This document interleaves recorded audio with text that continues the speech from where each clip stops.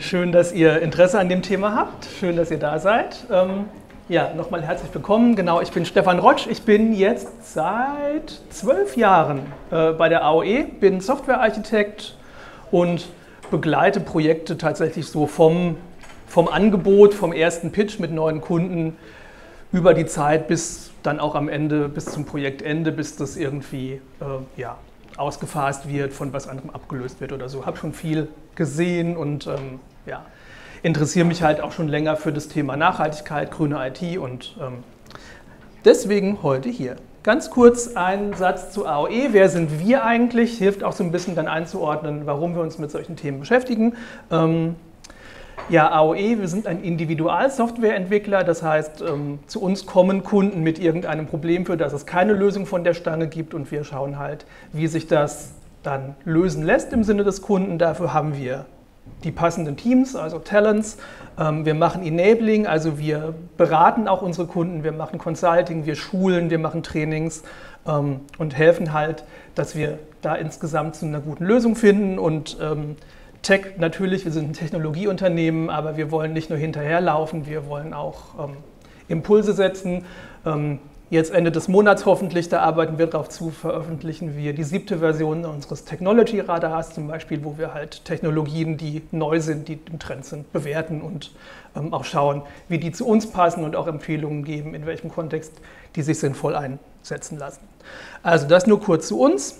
Ähm, vieles von dem, was wir machen, sind sogenannte Web-Applikationen. Also das Ganze läuft als, als Anwendung in irgendeinem Rechenzentrum auf einem Server und der User interagiert damit über seinen Webbrowser. Deswegen ist natürlich unser Schwerpunkt ähm, diese Web-Apps, Web-Applikationen. Wir machen also keine klassische Desktop-Software zum Beispiel, die jetzt auf einem Windows-PC läuft oder so. Das wären nochmal andere Tools oder andere Szenarien, mit denen ich daran gehe.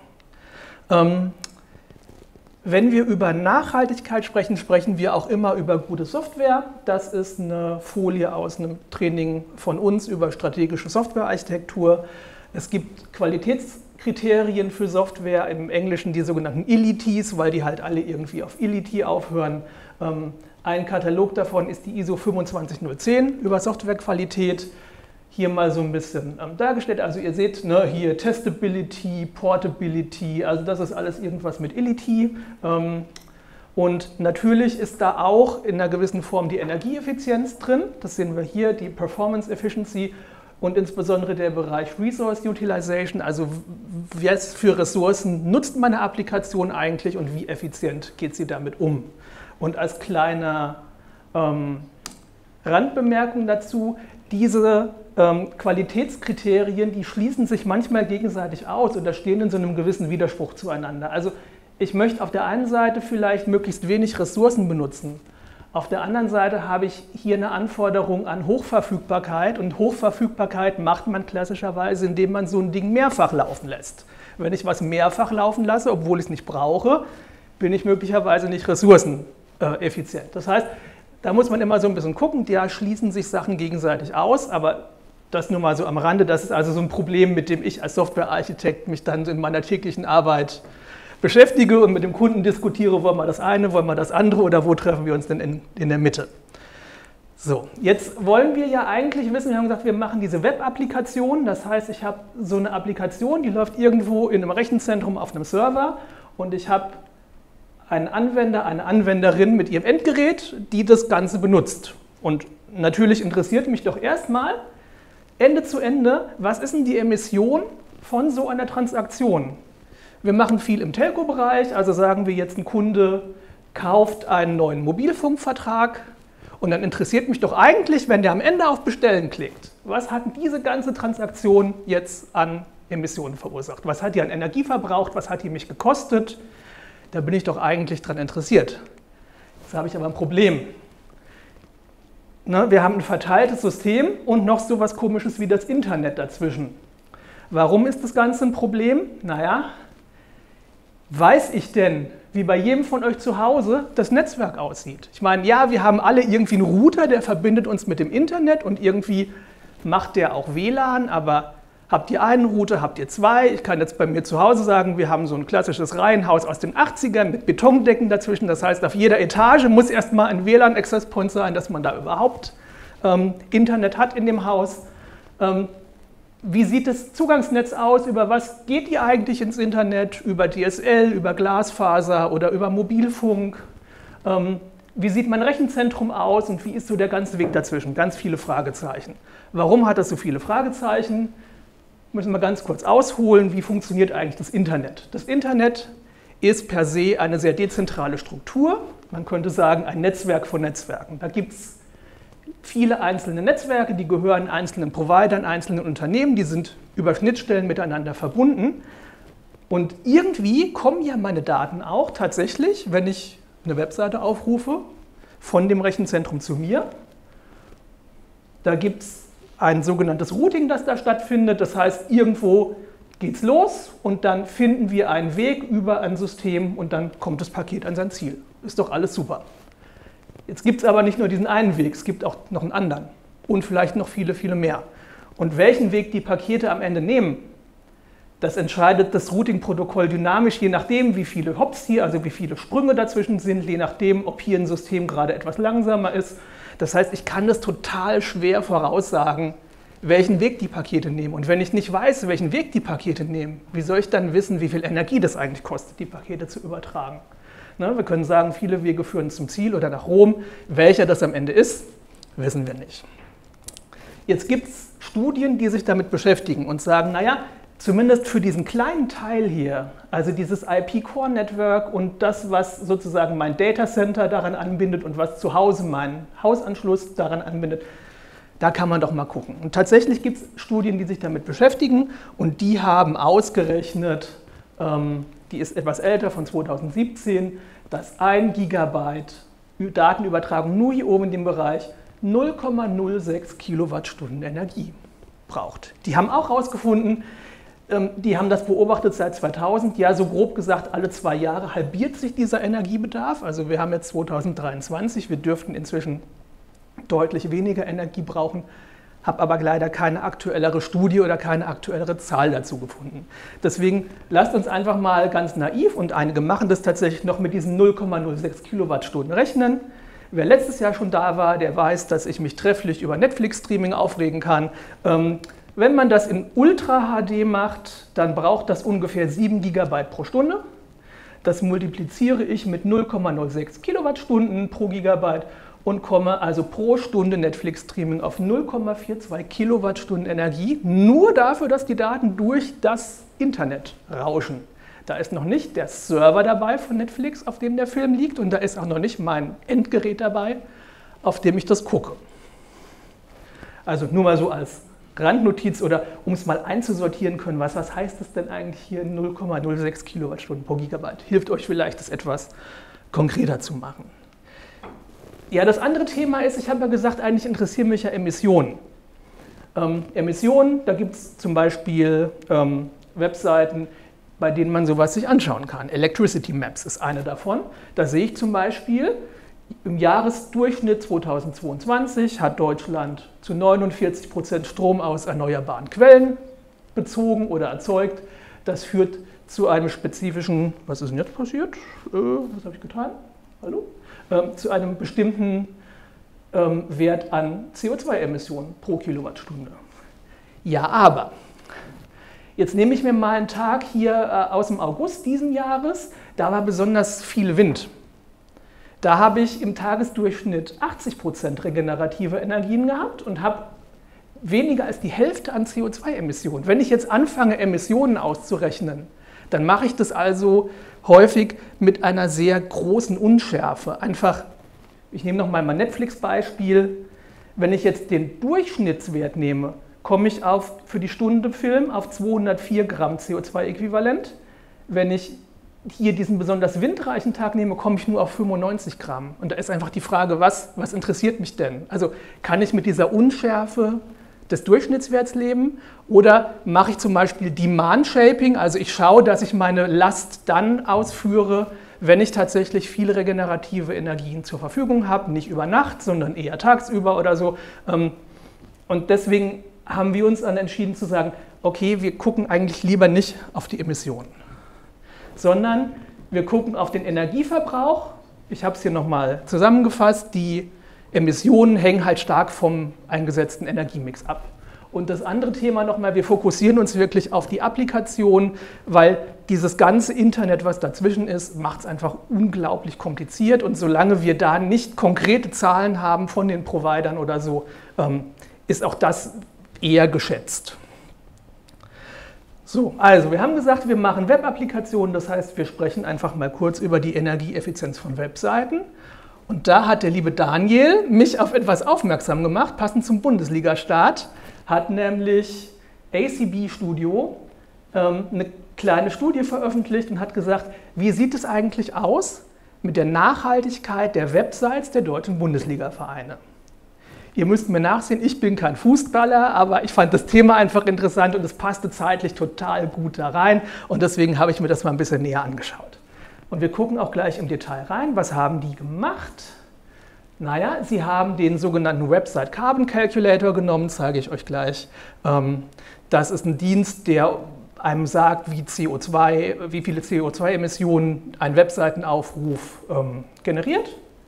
Und die haben einen Dienst genommen, der einem sagt, wie viele Aufrufe so eine Webseite im Durchschnitt pro Monat hat. Und die Formel ist dann ganz einfach. Der Gesamtstromverbrauch ist die Anzahl der Aufrufe mal dem Stromverbrauch pro Aufruf. Das ist doch eigentlich ganz einfach. Ja, wie sieht das im Detail aus? Ich habe hier mal ähm, sozusagen Spitzenfeld und die Abstiegsränge und natürlich darf ähm, der größte und teuerste Verein nicht fehlen, weil man sich den auch mal kurz anschauen muss. Also, was fällt einem auf bei dieser Studie?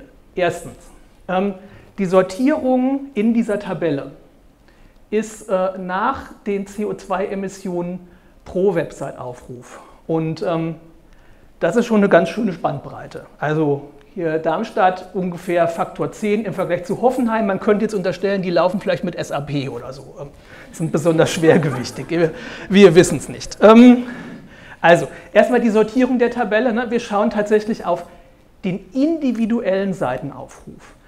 Ähm, das ist aber für mich jetzt nur der eine Teil der Medaille, deswegen habe ich das mal so ein bisschen ne, kritisch hinterfragt. Es macht ja schon auch einen Unterschied tatsächlich, wie oft so eine Seite aufgerufen wird. Und wir reden hier über einen Faktor von 35. Wenn ich hier so ein SV Darmstadt 98 nehme, im Vergleich zum Bayern München. Ne, die haben über viereinhalb Millionen Aufrufe im Monat.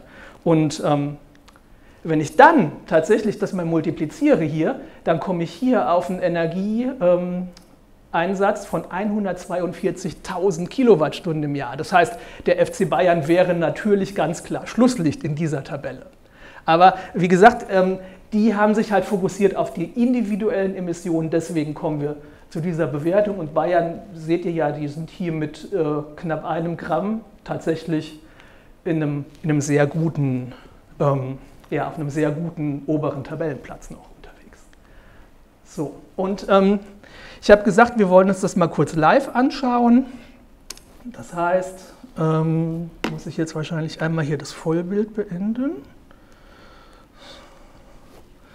Das heißt, wir befinden uns in Wiesbaden, das, wir nehmen uns einfach mal die Webseite vom SVW in Wiesbaden. Wie gesagt, ich bin kein Fußballfan, aber das können wir durchaus mal tun.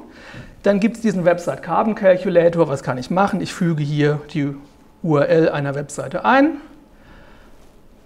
Dann ruft er die Seite auf und juckelt da ein bisschen drauf rum und kommt erstmal zu einem Ergebnis. Dann haben wir gesagt, wir holen uns den Website-Traffic. Auch das nutze ich das Tool was die anderen Kollegen benutzt haben und komme hier auf 54.700 Aufrufe pro Monat. Und hier die Jungs beim Website Carbon Calculator oder Jungs und Mädels, Entschuldigung, die waren so nett und haben hier schon ein Feld, wo ich was eintippen kann. Kann ich nämlich jetzt 57.100 waren es, glaube ich, kann ich hier eintippen. Und dann rechnet er mir aus, dass das ein Energieverbrauch von 5.238 Kilowattstunden im Jahr entspricht. Und was auch ganz nett ist, er setzt das so ein bisschen im Verhältnis. Ähm, dafür kann ich Wasser für 271.000 Tassen Tee kochen. Ähm, genau, also das finde ich eigentlich so ganz nett, ähm, was der einem noch so an, an Nebeninformationen mitgibt, äh, wie weit man mit seinem Elektroauto fahren kann, halte ich für ein Gerücht. Die rechnen mit 15 kW auf 100 Kilometer, aber die verbraucht das Auto natürlich beim Fahren. Ich muss mehr laden kann ich euch aus eigener Erfahrung sagen. Also ich lade nicht 15 kW aus der Steckdose, um 15 kW zu verfahren. Das sind ein bisschen mehr. Ähm, aber das ist ein anderes Thema. So. Ähm, das, was wir da gesehen haben, kopieren wir uns jetzt einfach nochmal zusammen. Ne? Also wir haben jetzt gesehen, 2,93 Gramm pro Aufruf, 50.900 Aufrufe ähm, sind im Jahr 4.690. Ich glaube, ich habe da die falsche Zahl eben eingetippt, aber ihr glaubt es mir. Ähm, so, damit kann ich den SVW in Wiesbaden jetzt hier einsortieren und sehe tatsächlich, ich sortiere wieder äh, wie gehabt ähm, nach CO2-Äquivalent pro Aufruf. Dann landen wir immerhin auf einem guten vorletzten Platz. Ähm, Hoffenheim ist damit abgestiegen und ähm, ja, sehen halt auch tatsächlich, das ist eine Webseite mit extrem wenig Aufrufen. Ähm, aber ihr seht halt schon, ne, dass weniger Aufrufe als Darmstadt, aber Darmstadt deutlich effizienter, also auch deutlich weniger Energie, die ich da im Jahr einsetzen muss. Ähm, fand ich total interessant, ähm, mir das mal anzugucken weil man lernt da auch ein bisschen was draus. Dieser Website Carbon Calculator, ich habe den im letzten Jahr schon mal kurz angeteasert, dass es den gibt. Also den gibt es schon wirklich lange. Die sind, glaube ich, inzwischen in der dritten Iteration dieses Tools. Ähm, das Ganze ist sehr anwenderinnenfreundlich tatsächlich. Ne? Ihr habt gesehen, man geht da drauf, man tippt eine URL rein und das Teil spuckt einem irgendeine Zahl aus. Das ist doch schon mal super. Man braucht also auch keine Vorkenntnisse. Ich muss mich nicht damit beschäftigen, wo jetzt die Seite gehostet wird oder was auch immer. Ähm, und diese Vergleichsgrößen aus dem normalen Leben, die helfen einem ja eigentlich auch immer weiter. Es ist manchmal so abstrakt, wie viel Kilowattstunden, was heißt das denn, wenn da steht, keine Ahnung, das, äh, davon kann ich so und so viel Tassen Tee kochen oder ein EU-Bürger braucht so und so viel im Durchschnitt im Jahr. Wie viele Tage kann denn ein EU-Bürger mit diesem Energiebedarf eigentlich sein Leben bestreiten? Das finde ich total sinnvoll. Was aber auch auffällt, das Ganze ist eine sehr statische Analyse. Also das Teil ruft halt die Webseite auf, so wie das ein Webbrowser auch tut, und macht aber nichts damit. Also das, was wir machen, E-Commerce, ne? also der Kunde bestellt was, der Kunde geht in seine persönlichen Daten, ruft eine Rechnung ab, ändert eine Adresse, was weiß ich. All diese dynamischen Prozesse sind da gar nicht erfasst. Es ist auch beschränkt auf die Startseite. Wir rufen tatsächlich nur diese eine URL auf, die wir da eingeben. Das ist halt in der Regel die Startseite, die schauen wir uns an und dafür spucken wir irgendeine Zahl aus. Ähm, und vieles von den Zahlen, die zugrunde liegen, die, der CO2-Verbrauch, der Energieverbrauch und so weiter, basiert alles auf Durchschnittswerten, tatsächlich weltweit. Also, und das ist natürlich sehr unscharf. Ich habe euch das versucht nahezubringen mit dem, mit dem Strom, mit der Stromerzeugung. Ähm, das heißt, diese absoluten Zahlen sind meiner Meinung nach mit Vorsicht zu genießen. Aber diese relativen Vergleich, also wie sind Webseiten in Relation zueinander, zumindest jetzt für diesen statischen Teil, das funktioniert eigentlich ganz gut und man kann sich damit auch persönliche Rankings bauen. Da wird es nochmal interessant, aufgepasst. Ich könnte mich ja fragen, bestelle ich lieber bei Amazon oder bei Otto, wer ist denn da der nachhaltigere? Und ihr seht schon, also Amazon ist grün und Otto ist rot, ist doch eigentlich die Entscheidung schon gefallen. Ähm, ja, wenn man mal genau hinschaut, seht ihr, das ist hier gerade so ein blöder Schwellenwert. Ne? Wir kippen hier irgendwie von 49 auf 50 Prozent ähm, wegen 0,02 Gramm Differenz in den CO2-Emissionen. Das reflektiert aber die Bildsprache nicht. Ne? Die Bildsprache sagt mir eigentlich, oh, rot, böse, geh weg, grün, super, äh, mach das. Von daher, ähm, ein nettes Tool, meiner Meinung nach, dass man, mit dem man ein bisschen rumspielen kann, aber nicht mehr. Ja, der zweite Teil, der mich interessiert, wie energieeffizient ist denn eigentlich meine Applikation, die Komponente, die hinten auf dem Server läuft. Das ist ja unser täglich Brot. Wir schreiben diese Software, die da läuft und natürlich will ich wissen, wie verhält die sich eigentlich zur Laufzeit. Und verrückterweise ähm, in vielen ähm, Studien, die sich mit diesem Energieverbrauch von Software beschäftigen, passiert genau das. Wir schaffen uns eine Laborsituation, einen PC, der einen ganz klar definierten Zustand hat, schließen den an ein Strommessgerät an, führen unsere Software aus und messen den Stromverbrauch. Das hilft uns aber nicht weiter, weil, muss ich auch wieder kurz ausholen, ähm, wenn man sich anschaut, wie sich das Computing oder der Betrieb von Applikationen über die Zeit entwickelt hat. Wir sind halt eigentlich weg von diesem, da gibt es einen physikalischen Computer, der irgendwo steht und da läuft diese eine Software drauf. Ähm, über die Zeit, wir hatten erst virtuelle Maschinen, dann Container, inzwischen so ganz abstrakte Konstrukte wie Function as a Service. Also mein Code läuft halt irgendwo, wie der da läuft, interessiert mich gar nicht. Ich will nur wissen, dass der läuft. Ähm, das heißt, ich habe irgendwie eine immer höhere Abstraktion weg von dieser Hardware. So, und äh, spätestens, äh, ne, also irgendwie hier oder spätestens da bringt es mir eigentlich nichts mehr, so ein Strommessgerät an irgendeinen Rechner anzuschließen, häufig weil der in, bei irgendeinem Cloud-Provider steht. Ich komme da überhaupt nicht ran. Also wie kann ich denn bei so einem System eigentlich den Energieverbrauch messen?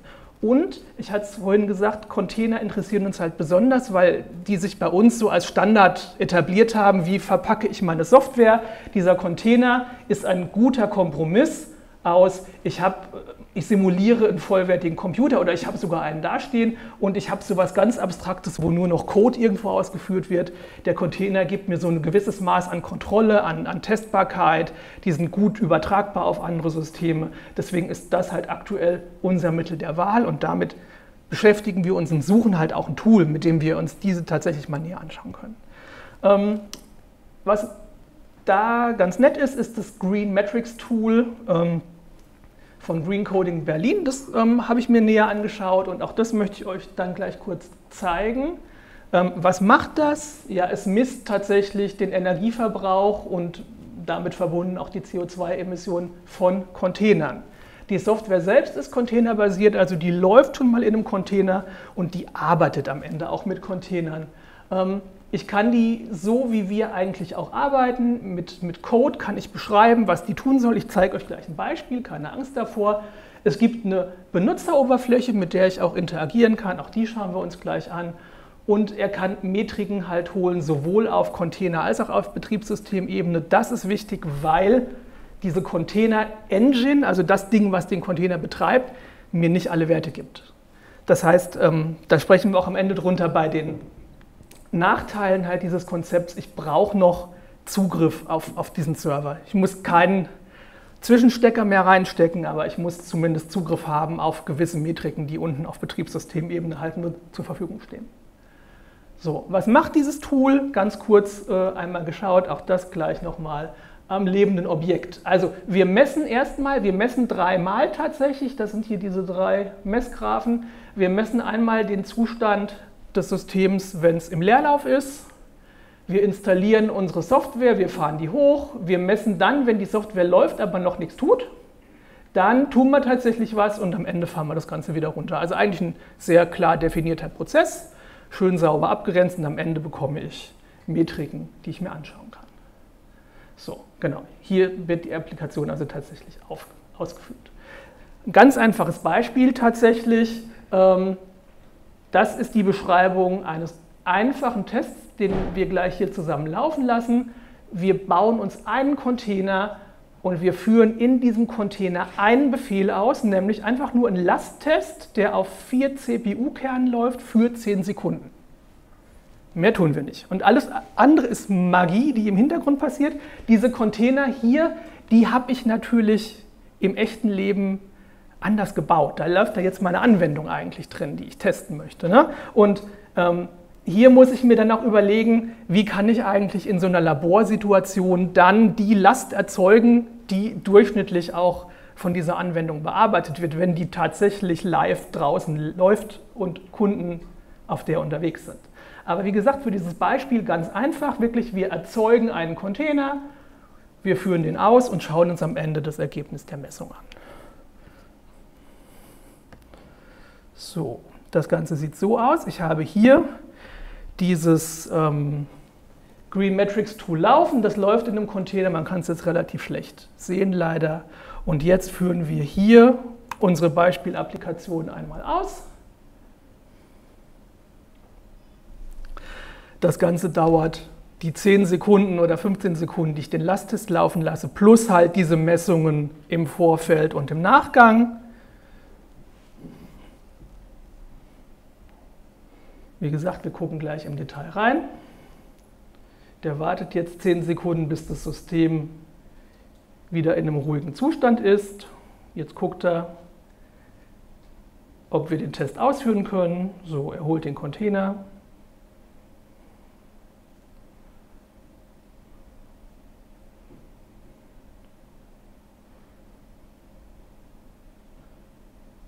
So, jetzt läuft unser Test, das sehen wir ganz hier unten. Also wir sehen es nicht, weil es blau auf schwarz ist, aber hier läuft dieses Stress NG CPU 4 Timeout 10. Der läuft jetzt gerade, jetzt ist er fertig. Wir fahren das System wieder runter.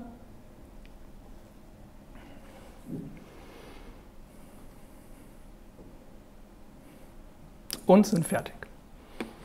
So, im zweiten Schritt rufen wir dieses Green Metrics Tool auf. Das läuft jetzt hier lokal auf meinem Rechner. Hier ist unsere SFD-Demo-Applikation und hier ist der Lauf von jetzt gerade 17.36 Uhr. In den kann ich reinschauen. Die Sidebar machen wir weg. Und hier sehe ich jetzt tatsächlich so ein paar fancy Graphen, die hier entstanden sind. Und ich sehe halt auch hier oben Energiemetriken was mich jetzt wirklich interessiert, und dafür mache ich gleich die Präsentation wieder auf, ist tatsächlich, wie viel Energie habe ich denn verbraucht. Dafür bekomme ich zum Beispiel hier eine Metrik, ähm, wie viel Energie die CPU tatsächlich fürs Rechnen gezogen hat. Ich bekomme hier oben eine Gesamtmetrik nochmal der Energie. Und die anderen Sachen tatsächlich jetzt hier, wie viel Byte der geschrieben hat auf die Festplatte oder ob der die Grafikprozessoren gebraucht hat, das interessiert mich jetzt gerade in unserem Use Case nicht, aber das Tool kann es tatsächlich und kann auch komplexere Applikationen ähm, betrachten. So, wir gehen zurück in die Präsentation und schauen einmal kurz in diesen CPU-Graphen rein. Und hier sehen wir jetzt sehr schön tatsächlich, das ist hier in grün markiert, ich habe es aber noch mal kurz zum Nachlesen, diese sechs Phasen. Also, wir starten tatsächlich erstmal die Messung des Systems im Leerlauf, wir installieren die Software, die wir testen wollen und fahren die hoch und lassen das System wieder leer laufen. Dann führen wir den Test aus und messen und fahren am Ende alles wieder runter. Und dann sieht man, das sieht man tatsächlich sehr schön. Ne? Hier sind unsere 10 Sekunden Lasttest und wir können auch schon sehen, dass hier sind Watt. Irgendwie so 12 Watt ungefähr haben wir jetzt für 10 Sekunden tatsächlich mal verfeuert zum Testen. So, was bringt mir das? Ich wollte ja wissen, welchen Energiebedarf hat denn eigentlich mein Container. Und dafür habe ich jetzt hier oben äh, diesen Graphen, habe ich euch kurz gezeigt, der mir insgesamt tatsächlich sagt, wie viel Energie hat die CPU gezogen. Und das sind jetzt 115,401 Joule. So, müssen wir ein bisschen Magie betreiben. Ähm, diese 115 Joule, ähm, die Einheit für Joule ist Wattsekunde. Das heißt, wenn wir unsere 115 Joule durch 3600 teilen, kommen wir auf einen Energieverbrauch jetzt für unseren Testlauf von 0,032 Wattstunden. Könnten wir jetzt noch durch 1000 teilen, hätten wir Kilowattstunden, macht jetzt bei dem kleinen Ding keinen Sinn. Warum teilen wir durch 3600? Naja, es sind ja Wattsekunden, wir wollen Wattstunden, also 60 Minuten mal 60 Sekunden. Das war es schon. Und damit habe ich tatsächlich jetzt rausgefunden, was mein Container an Energie braucht. Ähm, das heißt, erstmal eigentlich doch cooles Tool. Containerbasiert, out of the box nutzbar heißt, ich muss da gar nichts groß machen. Tatsächlich, das ist beschrieben, wie man das installiert. Das läuft gerade hier lokal auf meinem Rechner, kann ich mir einfach runterladen, ist Open Source. Äh, und ich habe diese grafische Aufbereitung der Ergebnisse, ist doch auch immer ganz nett, tatsächlich mal zu sehen, was ähm, dabei rausgekommen ist und wie man das vielleicht auch miteinander vergleichen kann. Ähm, Probleme tatsächlich habe ich schon gesagt. Erstens, und das ist, ja, sind beides für uns große Probleme. Das erste ist tatsächlich, ich brauche Zugriff auf die Maschine. Ich muss halt Metriken auslesen vom Prozessor oder so und das kann ich nur, wenn ich Zugriff habe auf die eigentliche Maschine, auf der das läuft. Und wir arbeiten halt inzwischen viel mit so ganz abstrahierten ähm, Container-Orchestrierungsplattformen oder so. Da habe ich diese einzelnen Maschinen irgendwie gar nicht mehr so gut im Griff, dass ich tatsächlich an diese Metriken drankomme. Also da muss noch irgendwas passieren tatsächlich, damit ich die so nutzen kann. Ähm, Zweitens, ich muss die Workload simulieren, weil ich mache ja kein Echtzeitmonitoring. Also das Ding läuft jetzt nicht nebenbei und kann mir fortwährend Zahlen ausspucken, was mein Container eigentlich so macht, während die echten Kunden damit arbeiten, sondern das ist immer noch so eine Art Laborsituation. Also ich führe das Tool aus, ich kann da was mitmachen und kriege eine Messung. Aber wie gesagt, das ist halt nicht die Realität. Das ist nicht das, was tatsächlich passiert. Ich kann da Annahmen treffen, kann entsprechende Simulationen machen, aber ähm, ja, das hilft mir also sozusagen noch nicht weiter für das, was ich eigentlich ähm, wissen möchte oder was ich eigentlich haben möchte, nämlich haben möchte ich ja kontinuierliche Metriken. Ich möchte jederzeit da drauf gucken können und wissen, so und so viel Energie braucht meine Applikation gerade. Und auch wenn ich was verändert habe, wenn ich ein neues Feature gebaut habe, hat sich vielleicht der Energiebedarf verändert. Und wenn der sich verändert hat, warum? Also das muss ich mich ja dann fragen und mir vielleicht anschauen. Habe ich irgendwas gebaut, was deutlich mehr Energie verbraucht, wo ich nochmal effizienter werden kann? Das heißt, dieses Tool tatsächlich ist ein cooler Ausgangspunkt für weitere Forschung und Entwicklung. Also ne, ich kann es jetzt so schon mal nehmen, ich kann euch das zeigen, ich kann da Sachen mit ausprobieren, aber ich kann das noch nicht in einem Kundenprojekt produktiv einsetzen oder so. Da muss noch was passieren. Und ähm, ja, ich finde es halt cool, hier die Kollegen von BitMe sind heute da. Wir sind da äh, Partner in dem Innovationsnetzwerk für digitale Nachhaltigkeit. Und das ist so ein Thema, was uns halt gerade umtreibt, was uns beschäftigt und ähm, wo wir vielleicht auch zusammen mit Kunden weiter daran arbeiten werden, dass wir hier ähm, in die Lage kommen, das zu machen. Ja, wir haben vorhin gesagt, wir sind auf einem Weg als, als AOE, wir probieren Sachen aus, wir analysieren Sachen. Manche Dinge gibt es einfach noch nicht und von daher sind wir froh und gerne bereit, ähm, wenn wir da beitragen können. Also nochmal kurz zusammengefasst, worüber haben wir gesprochen? Wir können Webseiten gut miteinander vergleichen mit Tools. Eins habe ich euch vorgestellt, diesen Website Carbon Calculator, aber mit Vorsicht zu genießen, was absolute Zahlen oder absolute Bewertungen einfach angeht. Und wir haben uns angeschaut, der Energiebedarf von Applikationen da sind wir gerade auf dem Weg, da entstehen gerade Tools, da entstehen auch Standards. Also es soll auch irgendwann mal einen blauen Engel geben, der zum Beispiel solche Applikationen bewerten kann, aber da sind wir auch leider noch nicht. Ähm, aber wie gesagt, wir sind dran, wir sind interessiert, wir brennen dafür und ähm, ja, sind für Diskussionen offen und wenn ihr noch Fragen habt, dann gerne fragen.